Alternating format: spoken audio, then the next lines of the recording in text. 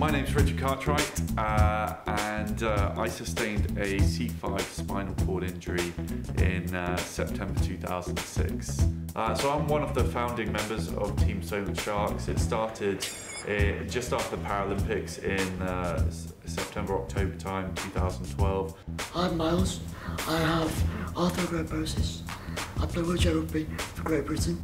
When you step out in front of 12,000 people at London 2012, you know, something else. I'm Matthew Bonney. My classification is 2.0 and I'm 24. My um, disability is arthrogryposis. I got a posis. I had it from birth. It basically affects my bones and joints and my muscles. I'm the County Disability Sports Development Officer. Uh, I'm a defensive player. I'm Gary Banks. Uh, I'm the head coach. Well, some people have described it as probably the most stupid spinal story uh, they've ever heard. Uh, I was uh, at a Freshers Week that I shouldn't have been at because uh, I'd already graduated. Uh, I was going back to see some friends uh, to have a good time and so on. And uh, I spent most of the evening trying to convince them that it'd be a great idea to jump into University Fountain, uh, which it would have been. Uh, unfortunately, as I walked towards it, I actually ended up doing a racing dive. And so I, I hit my head on the other side uh, and I, I hyperextended my neck and crushed the fifth, fifth vertebrae, which caused, caused the damage that I sustained. Arthrogryposis is something that affects the joints. It's not like arthritis. People get that confused. Um, but basically, the joints are bent.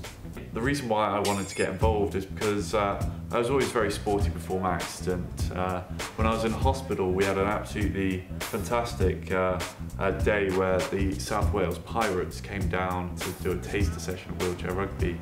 And although I was in a wheelchair and lots of other people were in wheelchairs, uh, it was the first time I really forgot about being disabled. It's the first time I forgot about the chair. All I saw was a ball, a goal, uh, and the fact that I could smash in uh, to other people. Just after London 2012, I went on a stag do, and Stuart Bruce Lowe was on that stag do, and he mentioned that there was a new team being set up, and I quite liked the idea of being at a developing club and helping them sort of uh, gain momentum they want to go up, and they have big aspirations. So when I um, started work at the university, it was sort of Paralympic fever, and one person's name kept coming up, and that was Professor Stuart Bruce Lowe's name, uh, because he had been helping support uh, the GB team in advance of the Paralympics, and, and working with him and, and a few other people, we took a fledgling club that was starting up elsewhere, and we brought it under the university banner. I'm a 1.5 player, so I'm, I play defence. So if we were talking football, Yeah. I'd sort of be a box-to-box midfielder.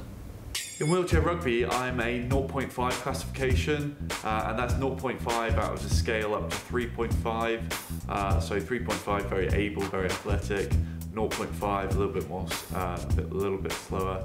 Uh, and that means predominantly I take a defensive role uh, on the court. Not supposed to have the ball, not supposed to do anything glamorous, just supposed to get in the way a lot and make the other guys look good. We've got guys here who, in my opinion, are not too far off the GB squad, um, although I'm not a GB selector, but just looking at the talents available. And we've got some young talents coming through. Everybody here is playing for the team and everybody works really well together.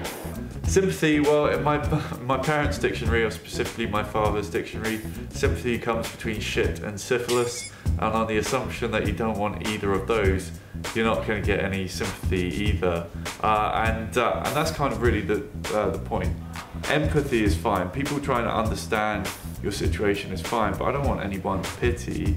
I just want to be able to get involved and uh, and pursue my life in, in the way that I want to. We're uh, we're in the second division at the moment. Um, this is our, our second season. Um, we finished, I think, it's second to, to top of the division last season, so we didn't gain gain promotion. A couple of weekends gone, um, played five, won five. So we're currently sitting top of the league, and if we're in that position at the end of the third season series, then it's promotion into the top flight. Absolutely. Great work, guys. Great work. Play. Well done.